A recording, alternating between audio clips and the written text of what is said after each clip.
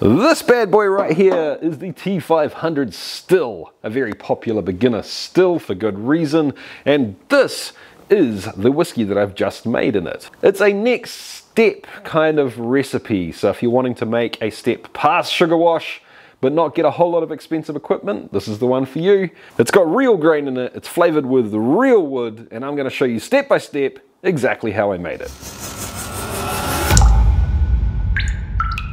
How's it going, chasers? I hope you're having a kick-ass week.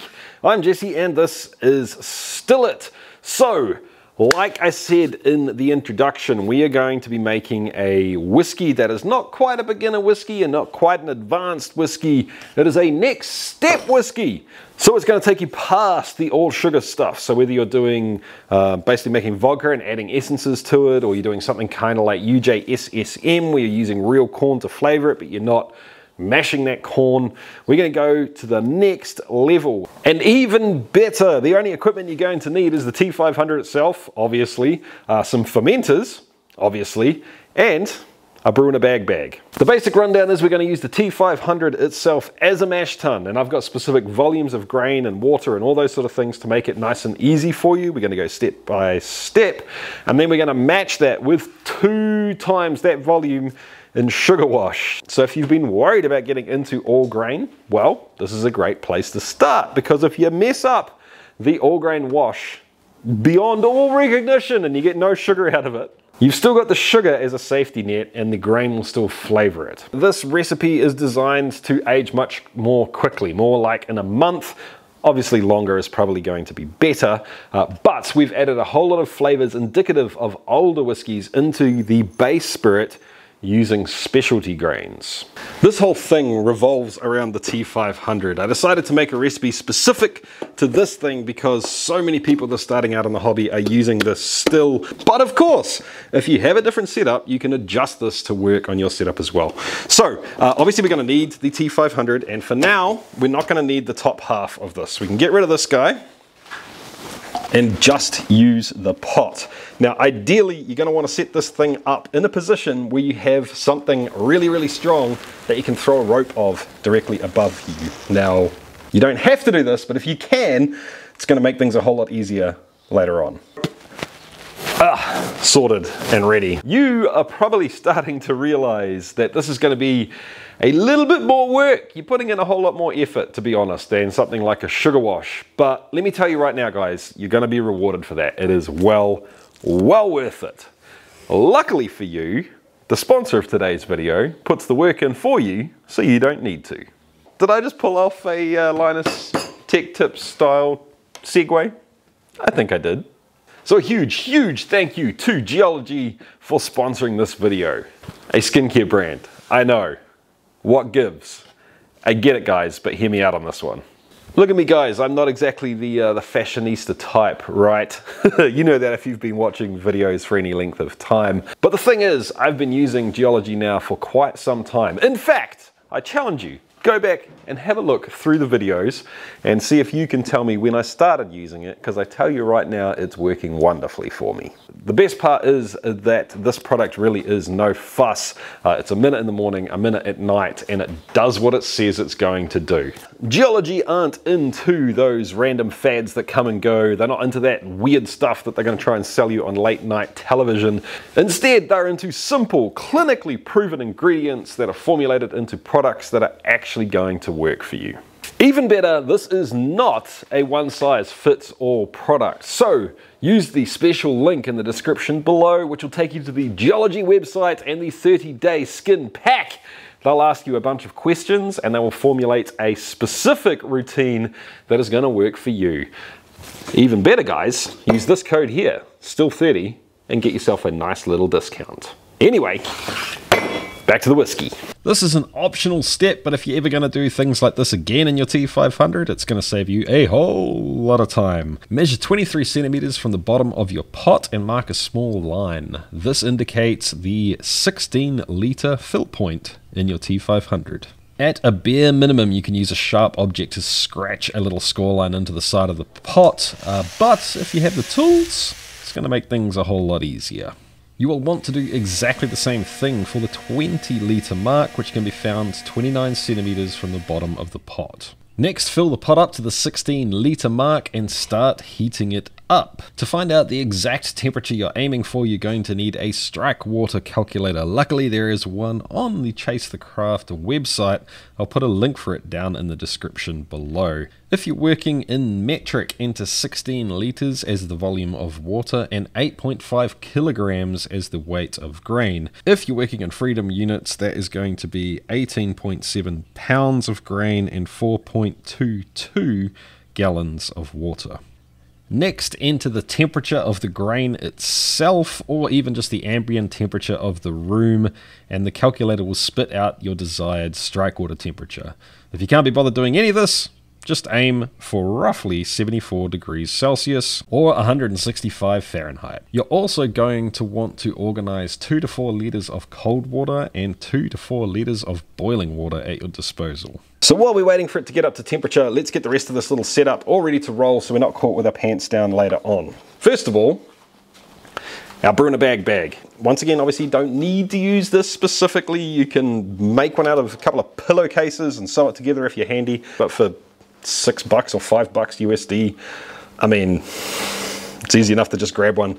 Uh, by the way, team, there'll be links for all of this stuff down in the description uh, if you are looking for specific examples that I suggest using. Anyway, so the, the literally all we need to do with this guy is it goes inside the pot. Most of these bags, the good ones anyway, come with a, a drawstring that's going to make this process easier. Uh, so literally all we want to do is sort of cinch that down right on the top just under that lip on the T500. Once you have that knot tied off relatively tight, you can actually go around and use these clips as basically a, a second layer of defense till you're losing your bag into the pot. Before we mash in, and we're going to get onto that really quickly, let's have a quick talk about the ingredients that are going into this mash itself. Uh, so first, we have water. That is our main ingredient. We're using Munich malt. It's a base malt. It has the diastatic power to convert itself, plus some other stuff, uh, and it adds quite a lot of extra flavor to what we're doing. Um, this sort of all grain recipe that we're making here, we are overdoing the flavor a little bit in this recipe because we're going to dilute it down with the sugar later on. So Munich, uh, and we're going to mix that with some of the ale malt as well, um, just to crowbar in a little bit of complexity. So different flavors coming from the two different malts. It's nice to have them both, uh, and more complexity down the end of the line is, is something that we're after. Next up, we have the oats. Now guys, please, please, uh, if you can, get quick oats or speedy oats, sometimes they call them grain flicked oats, steam rolled oats, uh, basically something that's already been gelatinized. So if you take this stuff and it turns into porridge damn near instantly when you're making porridge, uh, that's already gelatinized and that means that we don't have to do a cereal mash, which is great. So just be aware of that. Uh, the reason we're putting oats in is to help combat the sugar a little bit further on down the track in that uh, a lot of sugar to me often comes across, across quite, it's not a alcohol heat, but it's kind of this weird uh, piercing sensation on the tongue. It's, it's, kind of the opposite of a thick, full-bodied whiskey, uh, and oats are going to give us a little bit, hopefully, a little bit more uh, mouthfeel by being in the mix.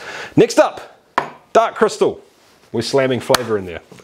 this, we're bumping up the sweetness a little bit. We're trying to get a little bit of that caramelly notes going on in there. Uh, but guys, these specialty malts, you want to be careful with. Use them at low percentages and don't overdo them. So even in this sort of recipe, I wouldn't suggest adding more of these. At this stage, try it like this and then boost it up next time if you want to mess with it. Um, but more is not always better. Uh, and last of all, we have the chocolate. They call it chocolate malt, dark, sort of cocoa-y chocolate, but really it adds a little bit of sort of coffeeness, burnt toast, all of those really dark Maillard reaction sort of flavors come in spades with this guy here. If you're struggling to find out where to buy this stuff from, Look for your closest local homebrew store. And when I say homebrew store, I mean beer. The beer guys have got the stuff nailed. The uh, supply chains and the distribution is just off the charts compared to any of the other sort of people. This is the best place to get it from. Uh, if you're in America, I will put a link for Adventures in Homebrewing, which very kindly help the channel out with some affiliate links. They'll be able to sort you out with all of this stuff. Uh, and they'll even post it out anywhere in the country as well for not too much when it comes to postage. Uh, but other than that, find your local homebrew store. This stuff needs to be milled before it goes into the mash. Now you can buy yourself a mill and mill it at home, which is what I do, but any good homebrew store will mill it for you. I think we're about done. Let's get back to our pot. So when you start getting close to your strike water temperature, strike water is literally just the, the water that we heat up before we mash in, uh, use a thermometer. These numbers do actually matter. You need to get them fairly freaking close. So within half a degree centigrade, ideally would be great. Uh, and another tip is, especially when you're using something like this that heats directly from the bottom, uh, give it a good stir up before you take your me measurement uh, to make sure you're on target and the water hasn't stratified out too much within your vessel. Yep, good to go. So from here on in, uh, don't rush, don't do anything crazy, but you want to be moving relatively quick, not standing around talking like this guy. You don't want to do it super slow because then you start losing temperature, uh, but you do not want to chuck all of this grain in all of a sudden because we get dough balls. And dough balls are the enemy of a mash. Basically what happens is the grain can stick together uh, and form a ball and the inside of that ball, although it is completely immersed in water, can be bone dry. If the grain is bone dry, then you're not mashing it and you're losing that efficiency. So it's just taking up room and doing absolutely nothing for you. You're throwing money down the sink. So tip a little grain in, give it a good stirring, make sure you don't see any balls. Uh, that's why I like to use this. I use a little bowl so I can grab uh, grain out of my big pot down here and add a little in. At this stage, uh, you will have a extremely thick porridge in front of you. And the reason for that is that I have reserved a little bit of space and a little bit of water uh, to be able to adjust our temperatures here. So uh, ideally you're aiming for somewhere between 64 and 65 degrees Celsius. Once again, that's this in freedom units. Uh, and that is why we have the boiling water and the cold water on hand. So if you've overshot that temperature, you can bring it down a little bit with the cold water. If you've undershot it, you can bring it up with the hot water. Honestly, guys, as long as you're sitting somewhere between 63 degrees Celsius and 66, maybe 67 degrees Celsius, we're pretty good. Now, we are definitely gonna wanna top this up uh, to about as full as we can get it because this is a very, very thick mash, especially with those oats. And once again, the whole point of this is if you completely fail, if you completely fail and you only convert half the sugar that's available to us in this pot, then the actual sugar we're gonna add in later on has got your back and you don't have to stress about it. So, do your best, don't stress about it, keep moving. So I would suggest adding about two liters at this stage, uh, giving it a really good stir to help stir it up, and then add the, the rest of that four liters and give it another stir, just um, just because we are pushing things on volume here. I'm at 63.8, I'm happy with that. Uh, let's get this thing covered up, insulated, and we let it sit for 30 minutes.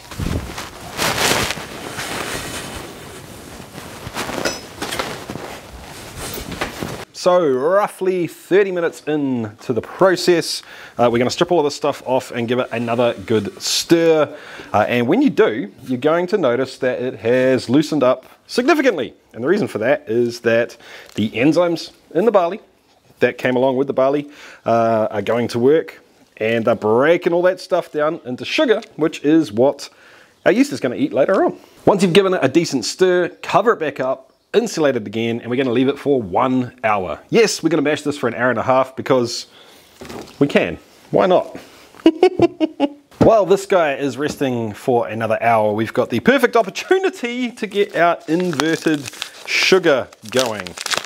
This is kind of a step where your results may vary. Not necessarily because empirically I think it's different, but I think I, I, guess what I mean is that some people are more susceptible or more um, able to taste the sugar flavor. It's more offensive to them that you get from a product that has been distilled from uh, fermented sugar. Uh, if you want to know more about this and kind of why I'm saying this disclaimer to you, uh, you can go ahead and watch the video over here that I just did recently. Personally, I would like to think that we're going to lower the impact of the fact that we're using sugar uh, in this whiskey by inverting the sugar. It's up to you though. But to be honest, the step really isn't difficult. All you need to do is uh, take the six kilos of sugar. I am lucky enough that I've got a pot big enough to do all six together. Obviously, if you don't, you can do this in two steps and you've got an hour. Uh, you'll easily get two of these done in an hour. So, you know, it's, it's not a big deal. Anyway, so sugar goes into the pot, plus the four liters of water and two teaspoons of cream of tartar. Uh, if you don't have cream of tartar, which honestly you can get damn near anywhere in the bakery aisle, uh, citric acid or anything else like that, you can switch it out for. Not a big problem. Basically, an acid just helps to split the glucose and the fructose apart from each other, which is what inverted syrup is. And then we bring it up to a simmer for 20 minutes. Once this has been doing its thing for 20 minutes, uh, we can move it aside, be super freaking careful with it because that is hot. That will mess you up. be careful. But we're going to move that over to the side and let that sit for a little while to cool down. We're going to deal with this thing now. So uh, the blankets can come off or whatever you're insulating it with can come off and get it back underneath uh, where you have your rope. I'm really hoping you have a rope right now. If you don't, I'm sorry guys. All right, guys, this uh, probably isn't going to be pretty, but you'll get the idea. Uh, take it slow, move slowly. Um, this thing is really heavy and it is hot, so you, you don't want to spill it all over yourself. Um, you can tie it to the drawstring if you want. I never trust the drawstring and I don't trust the stitching, so I like to tie it uh, around the bag like so. But the, uh, the easiest way is just to inch it up a little bit from here. If you have a block or a pulley up top, awesome, all for it. Every time you move it up a little bit, you're going to want to stop and pause uh, and let things drain a little bit. Uh, and the reason for that is if you don't, especially uh, with a large full bag, you're going to end up with a whole lot of spillage, like you just saw. Ah, and it'll get to a point where you can just uh, quickly pop it up like that. Once it's up and above the, the top of the the sort of the edge of the pot, the liquid will sort of run down the outside of the bag and drip off at the bottom. So it's just that sort of middle point where the bag is too full to go quick up and um, you know too wide to get past the edge of the pot. That's a little bit tricky. But once you get it to this point uh, you can tie it off. I'm going to do that now down here. My hands are sticky and I can't move the camera so you're not going to see this happen. Not a bad time to clean up some of your mess because uh, this stuff is super freaking sticky you can't just let this hang for about 10 minutes. If you want to speed things up, the best way to do it is to twist the bag uh, and use the tension that sort of twisting it creates to basically uh, help squeeze it a little bit. So once the bag has slowed down to pretty much just a, a really slow drip, uh, what we're going to do is grab another bowl and we're going to pull the old switcheroo. So we're just going to get this out and this under to keep catching any more little drips that come off uh, while we're working with this.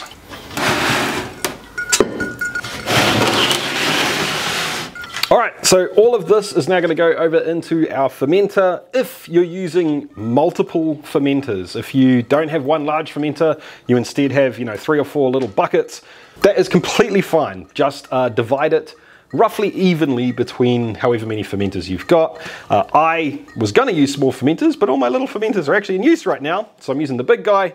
Into the fermenter goes your all grain wort, one cup of chopped raisins, our inverted sugar syrup, and enough water to make it up to 60 litres or 15.8 gallons. You can use hot or cold depending on what you need to make it 22 degrees Celsius or 71 degrees Fahrenheit.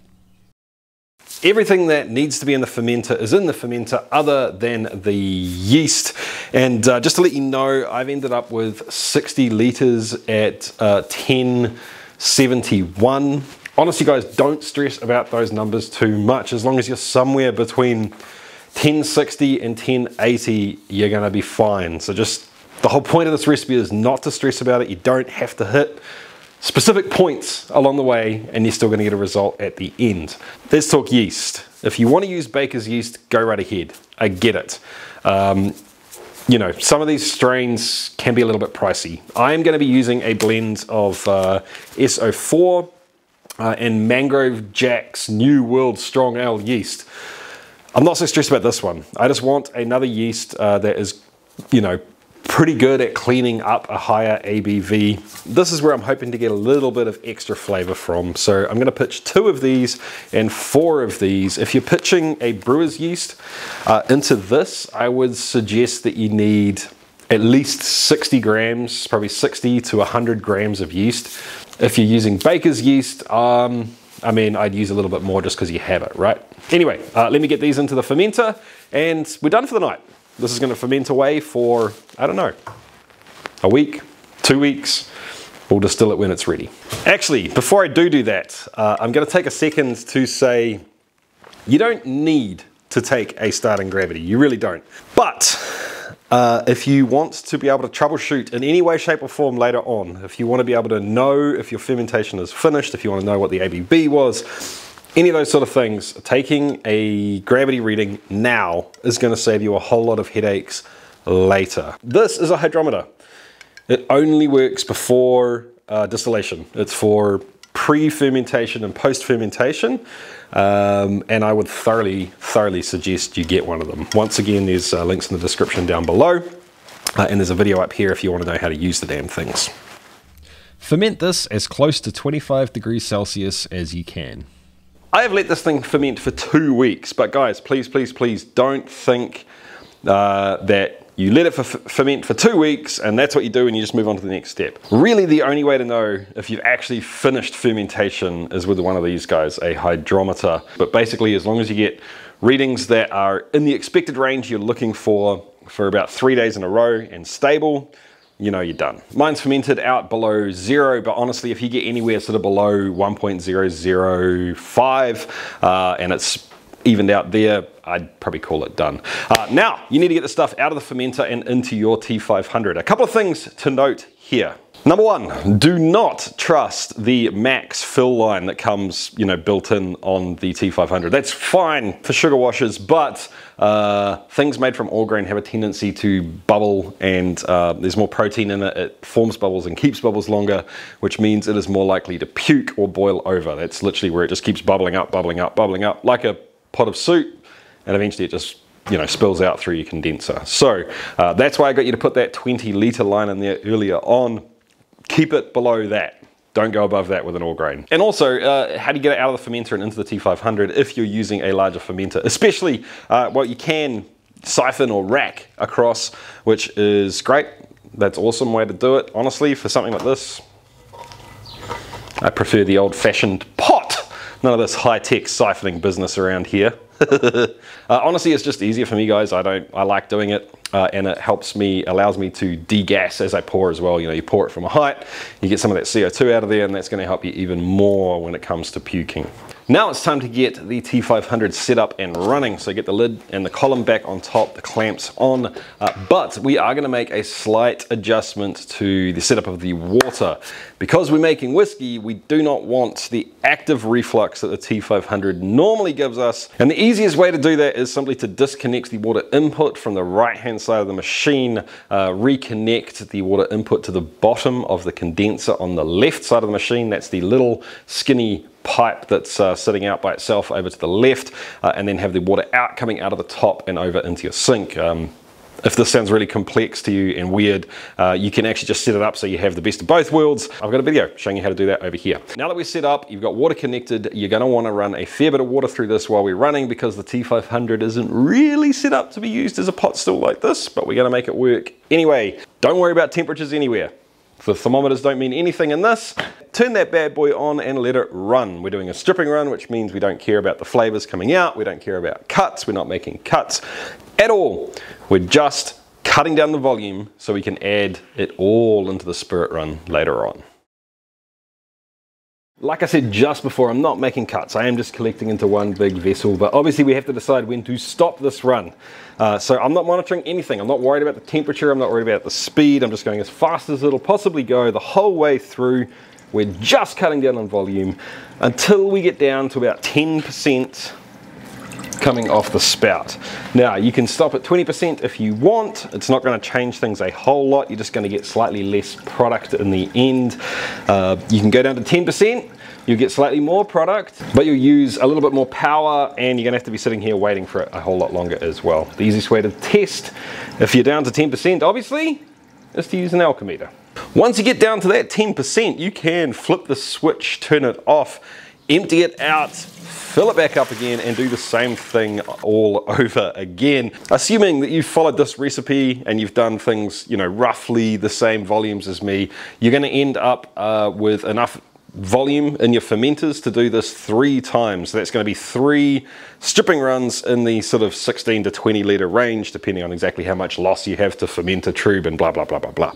Now, if you're going to do this all in one day and just bang it out, uh, that's not too much of a problem. Collect all the low wines into a glass or stainless container, ideally and you're going to be ready to go on to the next step. But if you're taking your time and maybe you're doing this, you know, you're running this still three times over a long weekend or once every night after work, for example, which is totally fine to do, the wash isn't going to go bad sitting in your fermenter, I would suggest storing it in relatively airtight containers. Uh, I use these uh, swing top jars Yes, they are just like a silicone gasket. I wrap them in PTFE tape or plumber's tape, Teflon tape, whatever you want to call it. Uh, and these do a wonderful, wonderful job. Once you've done all three stripping runs, it's time to take all of those low wines, all of it, and bang it back into the T500. Now that I'm into the run and I've uh, collected a few jars, we're solidly into the run now, let's have a little bit of a talk about how I'm running this and what I'm doing exactly with the still. First of all, if you have the ability to adjust the amount of power going into your still, I highly recommend it for this stage, for the spirit run. It's not 100% necessary if you don't have a way to adjust the power. That's fine, that's fine, just run it as normal. I'll show you a little clip of exactly how fast this is running so you can see what I'm aiming for here. In your situation, it'll almost certainly be different, but right now, just for an idea, I'm running on a little bit under three quarts power. Now, I'm also collecting into individual jars. And the reason for this is that it allows me to switch them out now and then go back and select my cuts later on. This video is not all about cuts. It's a that's a video in and of itself, and I've got other videos. I'll, I'll put them down in the description section down below. Uh, but what it means is that I can go back later uh, once the run is finished and sort of taste through and make a slow easy decision about exactly where I want to make the heads cut and the tails cut, rather than having to do it on the fly on the still, you know, and then potentially messing it up, not having a chance to adjust it. I'm a little bit reluctant, to be honest, to actually give you my cut points, my exact cut points, simply because I'm worried that people will uh, copy the numbers and rely on those rather than doing it proper yourselves. So I, I will give them to you, but guys, please, please, please Use your senses. Ah, get out of here, flies. Man, I had this covered up and I am fighting them off as soon as I undid it. Uh, anyway, team, this is the whole run, other than uh, some more tails that were just super tailsy, not even worth considering, that are going straight into the feints jar. If you don't know, guys, feints is basically the leftover stuff that I'm going to hang on to and add back into another run in the future that's a topic for another video if you're not sure what's going on. so don't stress about that too much. Just know you can save it and reuse them.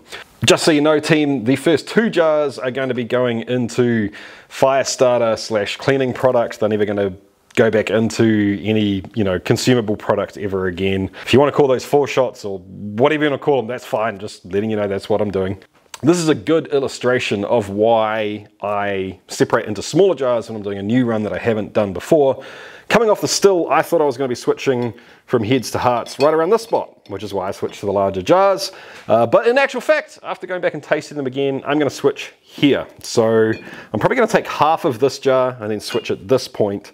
These are relatively clean as far as heads go, but they kind of have this weird uh, sugar vodka thing going on that I just don't think fits uh, in this flavor profile that I'm after uh, if you want to keep them, that's entirely up to you. If you're looking for more volume, I am going to blend based on the idea that I want this to age quickly. So normally my products age for a year or you know six months at the absolute least.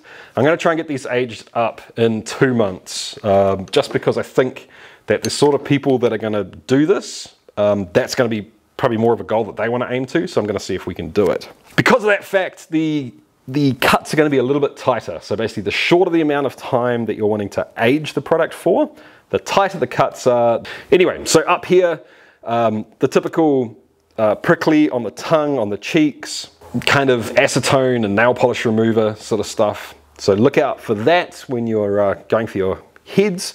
Down the tails, uh, it actually presented not so much as wet dog, it changed from uh, the flavors I was getting here, which I was talking about, I'll talk about in a minute, over to more of a uh, old, stale, almost grassy kind of bread thing. That's what I got first and decided to get rid of. Uh, and then after this jar, it started turning into the, the wet dog, wet cardboard, um, toe jam, funk sort of stuff. So keep an eye out for those. In the main run, we go from, like I said, a sugar vodka here through to some really interesting, uh, very light, very volatile fruit, but not acetone and weird sort of ester things. More, I think there's some influence from the yeast coming through in this area here. And then progressively down this way, it starts going through the grain flavors that we've got on there. Around this area, we've kind of got the sweet barley thing going on. Between here, uh, biscuity toastiness starts fading in, uh, and that toastiness stays with it all the way down until the tails, and it sort of gets darker and darker as it goes. So it goes from, you know, like a dark bread through to almost but not quite burnt toast, which I quite like.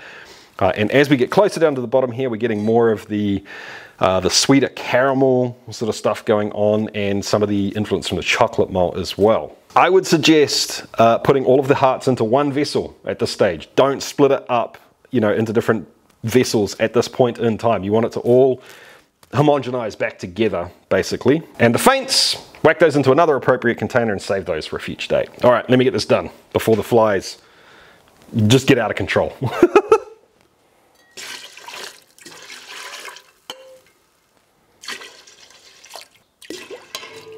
All right, team, so it's been a couple of days since I blended, and here's two jars ready to go, ready to get wood put into them uh, and start aging.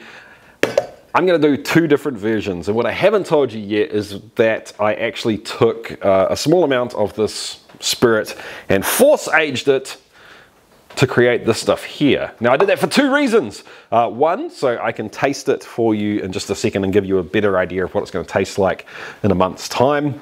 And number two, I kept the wood that I used from that force aging uh, right here and we're going to use that in one of these jars. So the plan when aging these uh, is to age this significantly faster than what I normally do. So normally I'm aiming for six months through to like two years of aging. For this one, I'm going to aim for more like a month and to accomplish what I want to accomplish in that month, I'm going to be using a little bit more wood than normal. Uh, so I have these little dominoes of oak. Now these are Kentucky bourbon staves that are sold for smoking. And the reason I'm using these is this is probably the most widely available product that I would actually recommend using in this. You can get it in most places around the world. If not, it's a little bit tricky to find, uh, but it's definitely the most consistently available product uh, on average. I've split them down into little dominoes that are six and a half centimeters by one and a half centimeters by two centimeters approximately. And I'm going to be using seven of them. Now I have also charred these things quite substantially with the blowtorch to a point that I'd kind of call an alligator char. Now, when you're doing this with a blowtorch, if you're going to use a blowtorch, I suggest taking your time, use it at a bit of a distance, get the wood hot, back off, let it sit for a while. Turn it over, get it nice and hot, back off, let it sit for a while. Because what we want to do is we want to create kind of a gradient of um, supercharred wood uh, through sort of the, the red wood that's been heated and cooked but not you know, burnt, obviously, and then through to almost raw wood in the middle. Uh, I am going to be using seven of these little bad boys uh, in eh, this jar. Uh, and for this jar, we're going to be using exactly the same staves, exactly the same size staves, and exactly the same number of staves but they have already been used uh, in the forced aged product. Get in there. The reason I'm doing this is that while these are Kentucky bourbon staves for sure, um, in terms of the amount of wood that's actually been affected by the spirit that we have in here, it's pretty freaking low and we've recharred it. So this is pretty much acting like new American oak. So what we have here is something that's more like a uh, Balcones style single malt. So it's a single malt recipe, like kind of a scotchy recipe, but we're putting a big new American oak influence on it. Over on this side, uh, what we have is the same sort of single malt base spirit, but we're using a second use oak much more like what the Scots are going to do. And I'm quite interested to see how these uh, differ over time. Really quickly, what you can expect to be different in these two is this is going to have a big, heavy, um, bourbon-like wood influence on it. This is going to be much more subtle. Uh, it's going to have less of that big upfront wood flavor and go more into the sort of delicate sweet notes that come out of the, the wood later on. All right, before I taste this stuff and let you know what you're in for if you make it yourself at home, I need to say a big, huge, giant thank you to the Patreons. Thank you so much, Patreons, for doing what you do. It lets me do what I do, and I am so very, very grateful for it. So I gotta say, guys, this does not smell like a sugar wash. It smells sweet and thick and oaky and it doesn't have any of that sugary presence to it, which is great, which is exactly what we're going with with this, right? We're going for the ease of sugar um, without the downside of it. The sweetness of the crystal malt's coming through. There's a slight biscuity and almost toastiness coming off uh, from the base malts. And we definitely have a little bit of action down in the really dark caramel, not quite chocolatey, maybe like a really, really light milk chocolate, that sort of thing going on. Uh, anyway, guys, bottoms up.